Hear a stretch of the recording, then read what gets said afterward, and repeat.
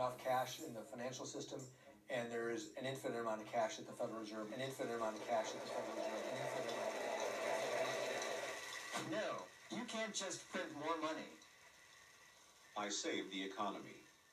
We're trillions of dollars in debt. The debt to GDP ratio is out of control. Who's going to pay for it? Haha. Money printer go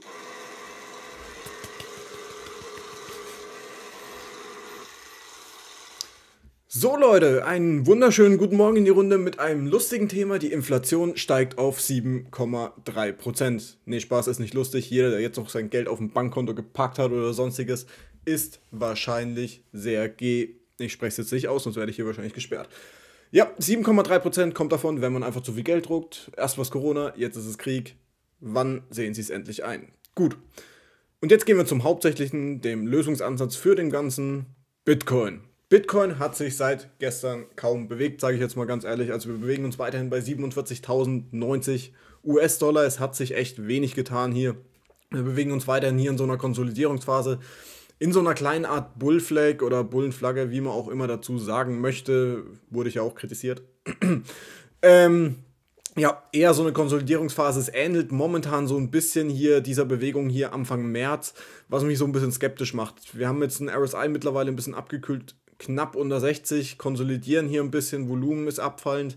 Mir wäre es weiterhin trotzdem, ehrlich gesagt, ähm, wichtiger, noch ein bisschen länger zu konsolidieren. Vielleicht echt nochmal hier diese 4 Stunden EMA Ribbons im Bereich der 45.200 US-Dollar ähm, anzutesten.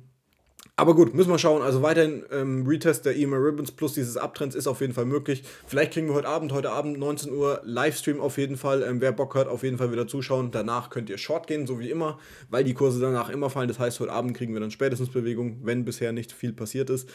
Ja, wie gesagt, also die 45.200 US-Dollar bis 45.000 US-Dollar sind noch nicht abgeschrieben. Die halte ich weiterhin so für möglich. Falls wir hier jetzt äh, weiterhin konsolidieren sollten, wäre das natürlich auch eine Möglichkeit. Also hier diese 45,6. Das wäre auch dann zwar immer noch nicht unser CME-Gap, was wir ja auch noch offen haben, aber wir müssen es jetzt mal beobachten. Also solange wir hier diese Bullflag in Anführungszeichen noch ein bisschen halten können, und hier konsolidieren könnte der RSI auch noch ein bisschen abkühlen. Wäre auch wichtig, weil mit so einem hohen RSI möchte ich jetzt ehrlich gesagt nicht in den Bereich von 52k pumpen, weil sonst einfach die Korrektur wahrscheinlich nochmal umso heftiger wird oder ähm, nochmal ein bisschen kritischer. Deswegen also weiterhin ist so mein Plan eher gerichtet, entweder wir konsolidieren jetzt hier oder nochmal in den Bereich von 45k runter, einfach um hier ähm, die Liquidität abzuholen, diesen Pump hier eventuell nochmal aufzufüllen, auch wenn hier eine Menge Volumen reinkam aber trotzdem nach oben hin haben wir halt einfach nochmal eine Menge Widerstände, beziehungsweise hier dieser wichtige Bereich um 52k.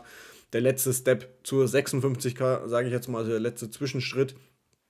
Aber ähm, ich weiß nicht, also es wäre persönlich, fände ich es nicht gut, sollten wir jetzt hier, ähm, sage ich mal, dieses Breakout kriegen in Richtung 52k, weil dann wird die Wahrscheinlichkeit höher, dass wir hier wirklich nochmal in den Bereich von 40k wahrscheinlich fallen könnten. Einfach weil hier Korrekturpotenzial dann vorprogrammiert ist mit so einem hohen RSI. Deswegen lieber ein bisschen konsolidieren, sage ich mal, hier in diesem Bereich vor allem. Einfach nochmal hier unten ein bisschen Liquidität im Bereich der 45k abholen. Hier unten noch ein bisschen konsolidieren möglicherweise einfach um diese ehemalige Resistance Zone einfach nochmal als Support zu bestätigen und dann nach oben hin auszubrechen. Das wäre jetzt so momentan mein Plan. Äh, wie gesagt, es hat sich wenig getan. Wir brauchen uns jetzt hier nicht ewig aufhalten. Weiterhin Konsolidierung. 45k wichtig. Sollten wir nach oben hin ausbrechen, wird das Korrekturpotenzial, sage ich mal, von den 51, 52k größer werden, dass wir hier nochmal nach unten hinfallen. Gut, schauen wir uns Ethereum an. Ethereum relativ wenig äh, Veränderung auch im 4-Stunden-Chart. Wir hatten ja hier unsere Bearish Divergence, wo wir angesprochen hatten mal.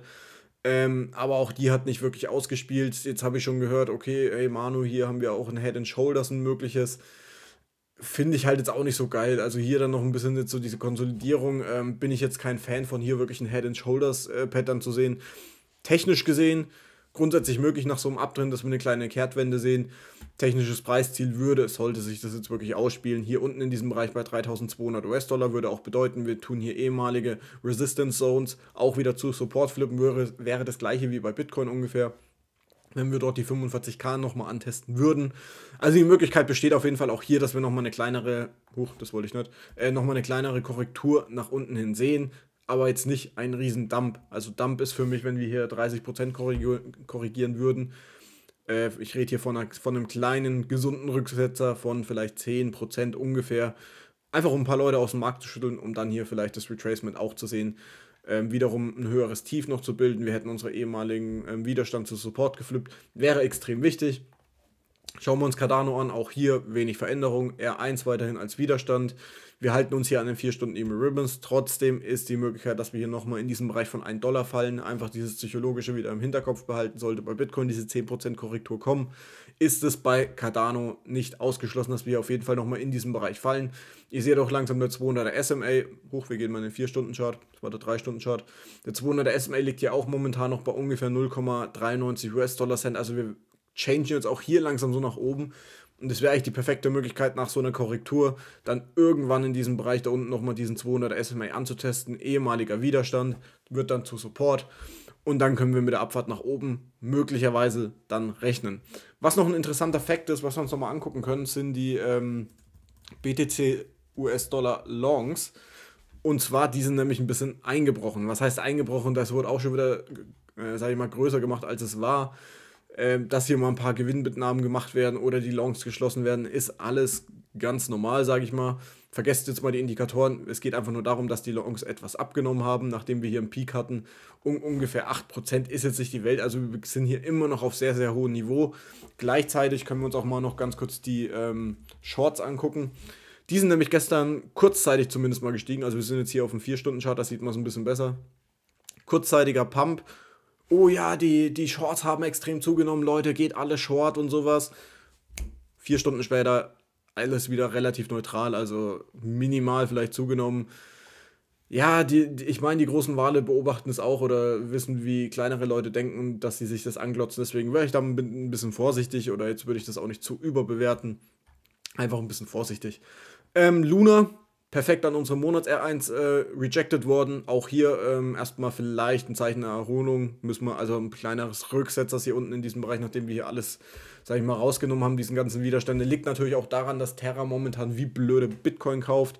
Äh, gestern haben sie, glaube ich, wieder 2943 gekauft, nachdem sie einen Tag zuvor nichts gekauft haben. Also sie akkumulieren weiter. Von diesen 10 äh, Billionen haben sie, glaube ich, 1,1 oder 1,2 Billionen mittlerweile schon eingekauft, also in Dollar gerechnet, also 1,1 Milliarden sind davon schon weg. Heißt, es bleiben noch 9 Milliarden Puffer. Mal schauen, wie der Kurs, also ich, wie gesagt, ich würde hier weiterhin nicht shorten, sucht euch eher so einen Long-Einstieg, behaltet mal die 4 Stunden E-Mail Ruined hier im Blick. Für eine mögliche Long, shorten, vergesst es. Solange hier Luna weiterhin Bitcoin äh, kauft, würde ich einfach die Finger davon lassen. Und weil es auch noch angesprochen wurde, VeChain pumpt auch wie blöde.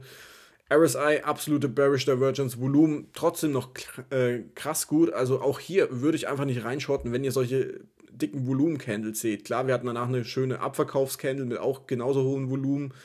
Aber trotzdem, shortet, shortet es einfach nicht. Shortet nicht gegen den Trend, auch wenn hier einfach, das habe ich euch vor ein paar Tagen schon mal gesagt, Bearish Divergence vorliegt, tieferes Tief im RSI. Aber dieses Volumen, was da einfach innerhalb kürzester Zeit reingekommen ist, das hatten wir jetzt schon zweimal shortet es einfach nicht. Egal wie, wir haben jetzt, haben jetzt sogar hier den R2 als Support getestet oder konsolidieren jetzt hier oben ein bisschen rum.